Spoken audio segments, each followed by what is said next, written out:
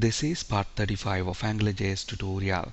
In this video, we'll discuss two simple but useful features in Angular, case insensitive match and inline templates. First, let's look at case insensitive match. Let's understand this with an example. Let's flip to Visual Studio. By default, the routes that are configured using the config function are case sensitive.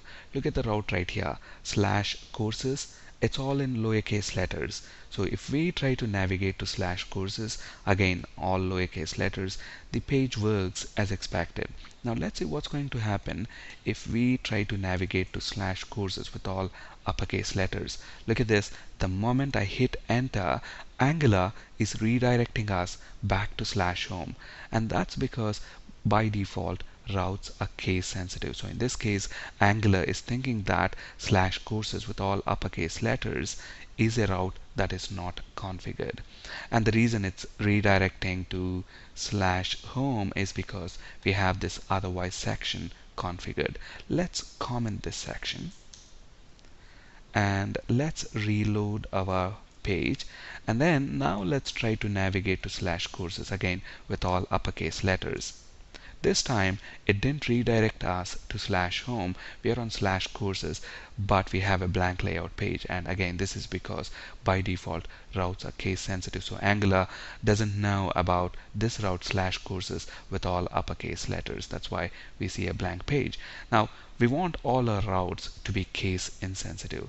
To make a route case insensitive, all you have to do is set case insensitive match property to true. So in this case, we are setting that for slash home, but we want it for slash courses. So let's do that. So within our config function for this route slash courses, I'm going to set case insensitive match to true. Alright, so let's save our changes and let's reload our app. So I'm pressing Control R to reload and look at that. Slash courses with all uppercase letters is working as expected.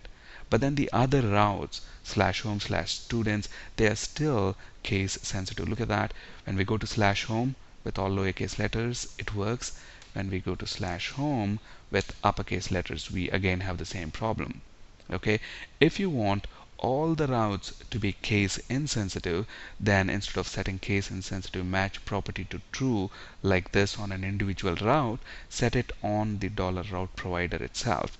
So on dollar route provider, let's set case insensitive match to true.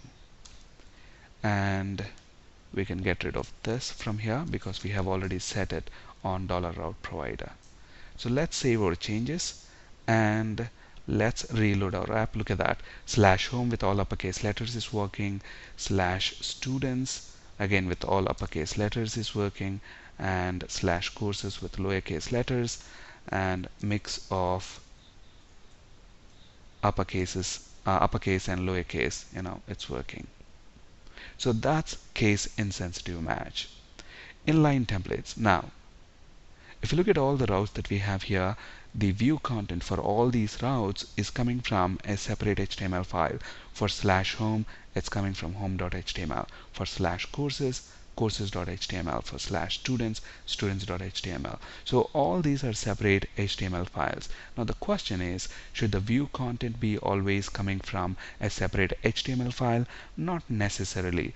The view content can also be inline. Now, to specify the view content is coming from a separate HTML file, we use template URL property. If you want to use inline templates, then you can use template property instead of template URL. So we use template property and then we specify our inline template content right here. So let's say we want an h1 element and within that we want to display this message inline template in action. Let's close the h1 element let's save our changes. So we have specified an inline template for slash home. So at the moment we are on slash courses. Let's reload our app by pressing Ctrl R. And look at this. When I go to slash home look at what we see now. We see the inline template um, in action string there. So you can either use an inline template or an external template you know a separate HTML file. If you want to use you know a separate HTML file then you use template URL property. If you want to use an inline template then you use template property. Thank you for listening and have a great day